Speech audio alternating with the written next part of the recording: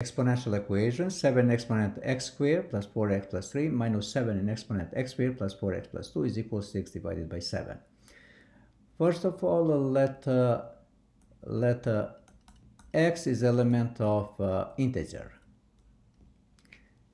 And now, now let uh, factor the first term and to make uh, the same factor as the second term here. The same factor we can write in this form.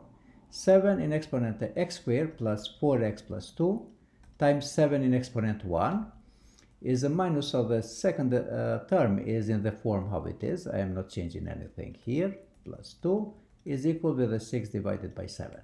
And now as we see here 7 in exponent x squared plus 4x plus 2 is a common factor for both terms. And let's factor it. x squared plus 4x plus 2 here is a 7 in exponent 1 is just 7. Minus 1 is equal to the 6 divided by 7. And now what remains here uh, remains a 6. 7x squared plus 4x plus 2 and here is a times 6. And this one is equal to the 6 divided by 7. Now let's divide everything by uh, by a 6 because we have both sides of the same factor 6 so let's divide by 6 of both sides we are dividing by 6 of both sides, this side here and this side here, so 6 with the 6 we can simplify and 6 with the 6 here simplifies. What remains is a 7 in exponent x squared plus 4x plus 2 is equal with the 1 over 7. According to the properties of the exponents, 1 over 7 I can write as a 7 in exponent minus 1. And so let me write this one, 7 in exponent minus 1. But the left side, I will write in the way how it is. 7 x squared plus 4x plus 2. And uh, the according to the rules of the exponents, if the base is the same, so then uh, in an equation, then the exponents are uh, equal with each other. So here the base is a 7, 7. So this uh, exponents here is equal with this exponent. And we can write x squared plus 4x plus 2 is equal to the minus 1.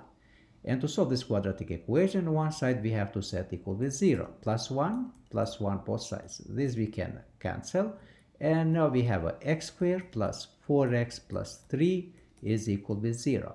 So the good factors of 3 to reach this 4 here and to factor in terms of the integers are 3 and 1. And now are positive. Positive 3, positive 1. Positive 3 times positive 1 is a positive 3. Plus 3 plus 1 is a plus 4. So they satisfy the condition to factor this quadratic equation into binomials. So now we have x plus 3 times x plus 1 is equal with 0. And according to the zero factor theorem, we can, affect, we can take a factor x plus 3 is equal with 0 and x plus 1 is equal with 0 and we solve for x. But here I'm talking, taking the shortcut. The shortcut is uh, x is equal to the minus 3. If we are solving, x is equal to minus 3. The, the other solution is uh, here, if we are taking this uh, factor, equate with 0 and solve for x, x is going to turn out to be x is a minus 1. So those are two solutions. So x is equal to minus 3 and x is minus 1. And minus 3 and minus 1 are element of the integers. So we already found the solution for this equ equation that can satisfy. The two possible solutions that satisfy this equation is x is equal to minus 3 and x is equal to minus 1. So you can check uh, this uh, x minus 3 and x minus 1 does it hold, but this one I'm not doing by myself, but I'm leaving for you.